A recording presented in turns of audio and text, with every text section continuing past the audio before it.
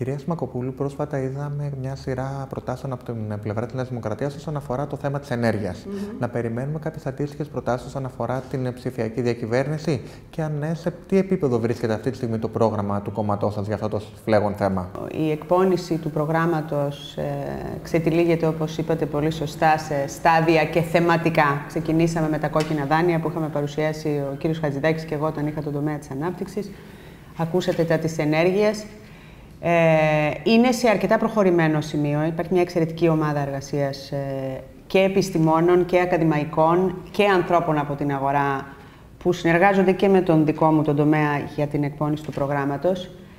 Ε, θέλαμε να έχουμε μια πολύ ξεκάθαρη εικόνα του πώς λειτουργεί το καινούριο Υπουργείο ή πώς τουλάχιστον σκοπεύουν να το λειτουργήσουν. Δυστυχώς αυτό δεν έχει προχωρήσει σχεδόν καθόλου. Δηλαδή, σκεφτείτε ότι δεν υπάρχει καν το οργανόγραμμα του Υπουργείου εγκεκριμένο ε, για το πώς θα λειτουργήσει. Ε, νομίζω ότι η σκέψη του να περιμένουμε δεν έχει κάποιο νόημα. Ε, εγώ θα σας έλεγα ότι είμαστε στο 90% ας πούμε, του εκεί που θέλουμε να είμαστε αυτή τη στιγμή. Ε, οπότε θέλω να πιστεύω μέχρι το καλοκαίρι, με βάση τον προγραμματισμό που θα γίνει και για άλλα κομμάτια, θα έχουμε μία πρώτη παρουσίαση.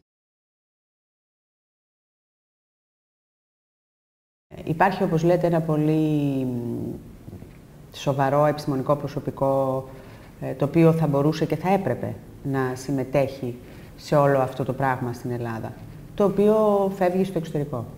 Είναι το brain drain που λέτε. Η ανάσχεση αυτού του πράγματος, ε, καταρχάς έχει να κάνει με τη μεγάλη εικόνα. Αν η χώρα πάρει τα πάνω της, αν μπορέσουμε να το γυρίσουμε αυτό το πράγμα, που σίγουρα θα μπορέσουμε, ε, θα υπάρχουν και θέσεις εργασίας για να μπορέσουν να γυρίσουν. Αλλά πρωτίστως νομίζω οι, οι νέοι άνθρωποι ε, πρέπει να αισθανθούν ότι υπάρχουν ευκαιρίες στην Ελλάδα.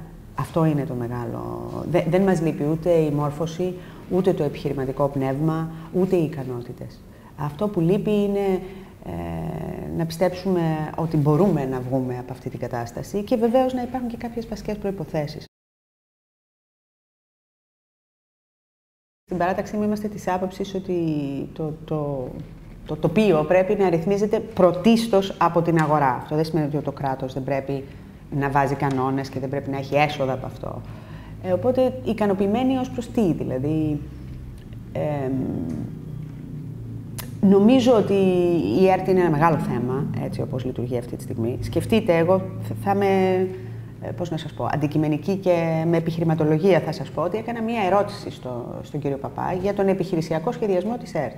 Έχει την υποχρέωση να εκπονεί ένα, επιχειρησιακό, ένα επιχειρησιακό σχέδιο, σαν επιχείρηση. Και μου απάντησε ότι αυτό θα είναι έτοιμο τον Απρίλιο. Μετά εξαγγέλνουν 150 προσλήψεις. Και κάνω την απλή ερώτηση. Εάν δεν έχει ε, μία επιχείρηση, ένα πλάνο, τι πρέπει να κάνει, ποιο πρέπει να απασχολείται, πώς πάει και κάνει προσλήψεις; Δηλαδή, ε, απλά πράγματα.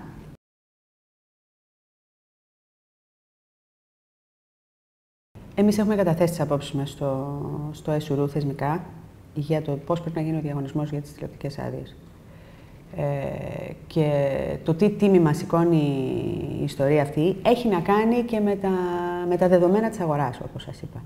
Τώρα, ο κ. Παπάς τώρα δεν ξέρω τι λέει. Εγώ ξέρω ότι έφερε μια τροπολογία ότι επιστρέφονται τα χρήματα. γιατί ο διαγωνισμός είναι άκυρος. Οπότε ας αφήσει τις μεγαλοστομίες επί παντός ε, επιστητού, αλλά και επί του συγκεκριμένου θέματος, δεν νομίζω ότι, ότι δικαιούται διανά ομιλία επί του θέματος. Ε, ε, ήταν τεράστιο φιάσκο αυτό. Ποτέ δεν μας έχουν απαντήσει και τι κόστησε.